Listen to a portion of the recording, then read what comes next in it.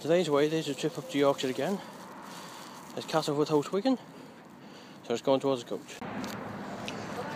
Just halfway up to Yorkshire, we just stopped at the welcome break services at Hartshead Moor. So we're just still on the way to Castleford. We stopped at the services. We've just seen the St Helens team, who hopefully don't do too well tonight at Wakefield. Fingers crossed.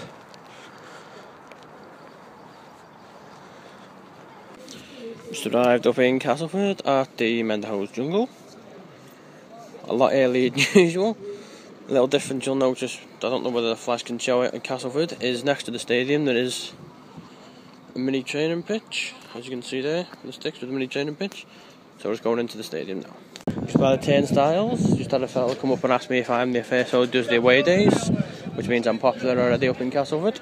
It was a Wigan fan. This is the turnstiles just over to the Tiger Bar, which is the refreshment, which is a very good place to get refreshments.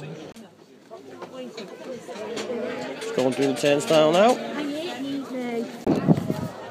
Just going through the turnstiles. Programme here is £3, which is black and amber, which I'll say. Terms concessions, you have the Tiger Bar, which is reasonably priced from what I've been told stands over the far side, and the Road End, which is in the far corner. A bit windy over here with it being Yorkshire.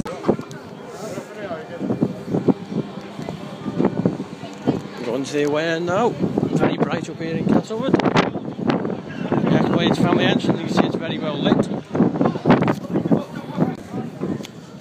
Onto the terraces now. Castleford has three stands at the terrace, which is main, so we're going to have a quick walk around the back reasonable pitch. I'm looking at this. Got a main stand over there in the corner with seating. Got a standing end over there the far side. Pinter Street over there, and you've got the Wheldon Road end here, which is where most of the away fans gather up. Pre-match entertainment here circles around the Castleford Claws, the cheerleaders. Not long until kick-off, both teams currently on the pitch.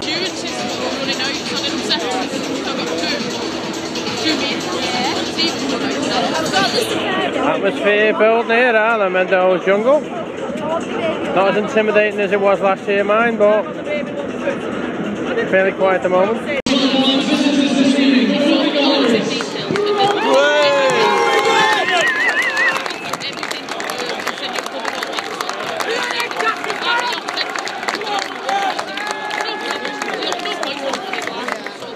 We can come out, uh, I'd say, pretty decent applause. What you can say. Kazov was shouting something I can't really tell, but probably not that interesting, really, is it? So. Right, this is what you call an atmosphere. See, that's how it's done.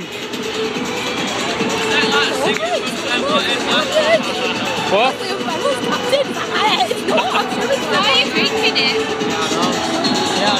Castleford, comment to the arena. Like being in a boxing fight, what? From the price? I got a bit of a abuse over there. Did you not see me walking through? Wigan came out and I was going, ah. They gave me a bit. Even though they nicked our song? Sounds like I'm at Wigan this, so cheerleaders lead the field, flags are field. We don't get laughing. And then we just saying, Sean, what do you you done? Oh no! So, mascots off, flags off, players on the pitch.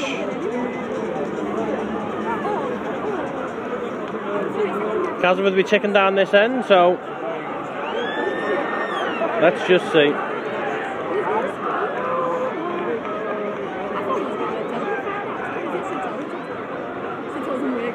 Yorkshire game, isn't it? So, like three Yorkshire games.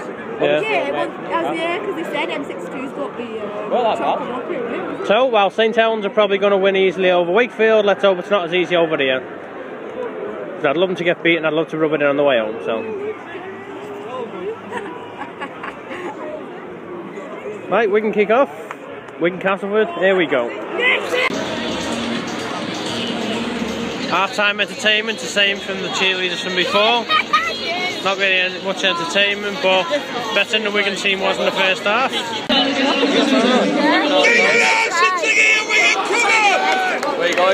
Here come Wigan. This has got to be a lot better.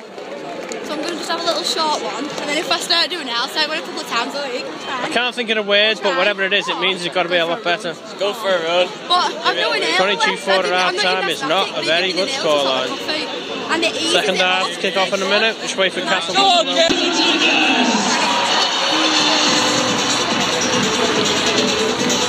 I'm not even going to touch the ball. I didn't know they were playing. Here comes Castleford.